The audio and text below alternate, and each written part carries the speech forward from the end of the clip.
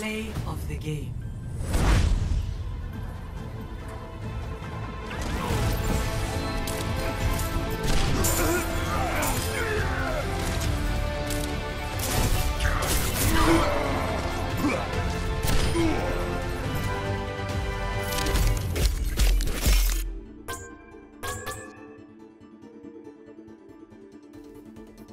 Epic. It's nice to be appreciated.